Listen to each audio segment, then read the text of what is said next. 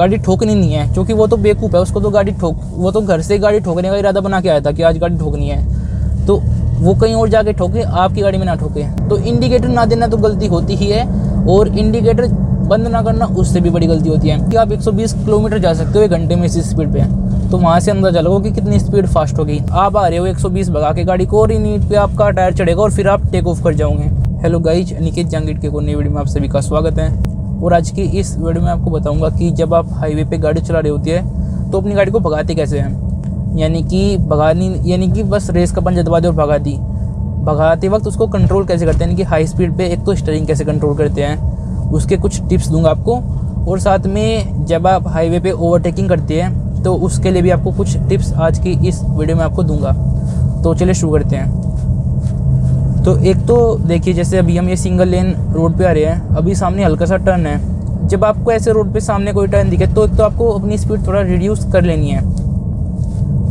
तो देखिए, जैसे अभी हम ये सिंगल लेन हाईवे है, यानी कि प्रॉपर जो बड़ा हाईवे होता है, वो नहीं है। तो अगर आप ऐसे हाईवे पे आ रहे हो तो कोशिश करो कि ज़्यादा तेज़ ना भगाओ।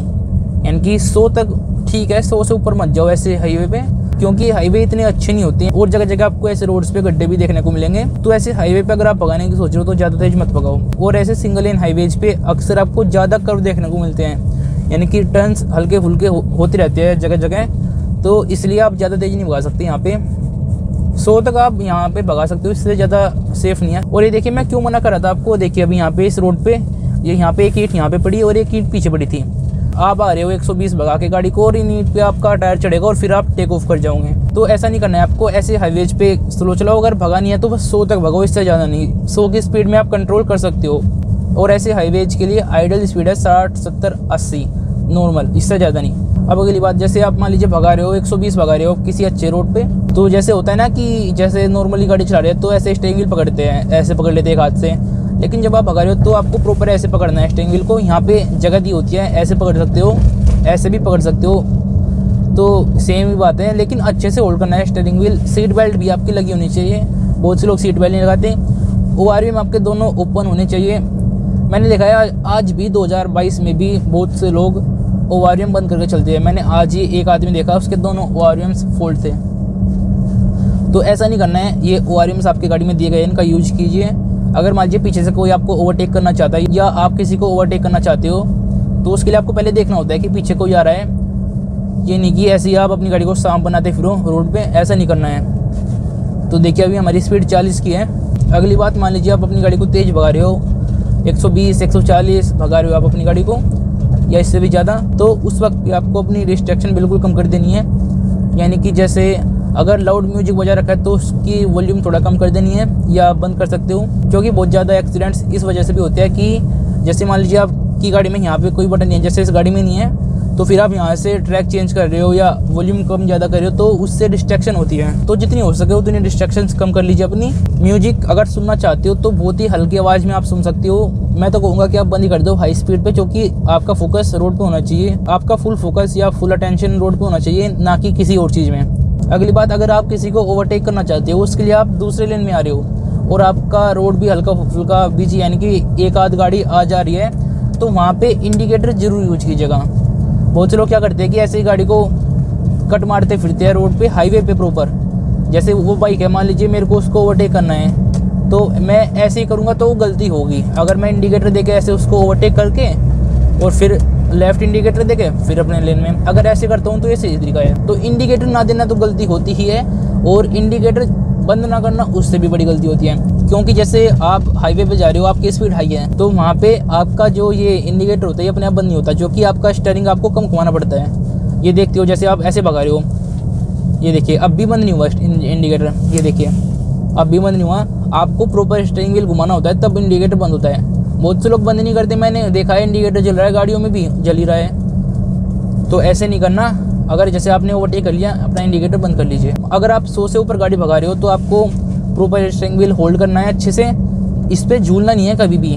जैसे मान लीजिए आप 120 भगा रहे हो तो आपकी स्पीड काफ़ी है। आप ये देखो कि आप 120 किलोमीटर जा सकते हो एक घंटे में इसी स्पीड पे।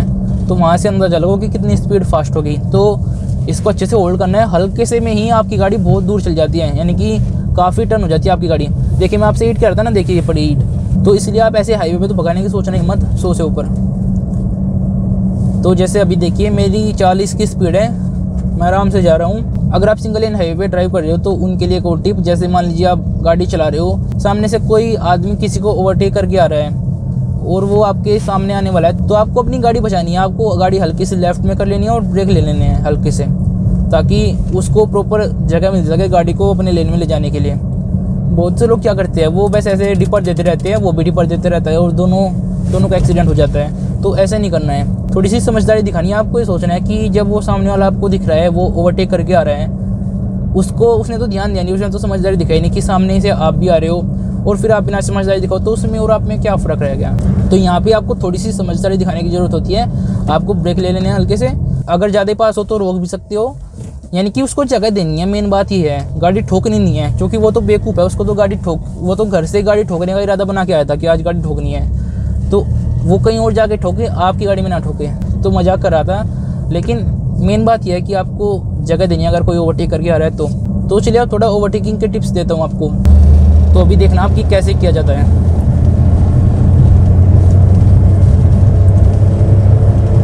तो ये देखिए, अभी सामने से कुछ आ रहा है। मैं ओवरटेक नहीं करूँगा। अगर वो ब्रेक लेते एकदम से तो फिर आपको भी इमीडिएटली ब्रेक लेने हैं।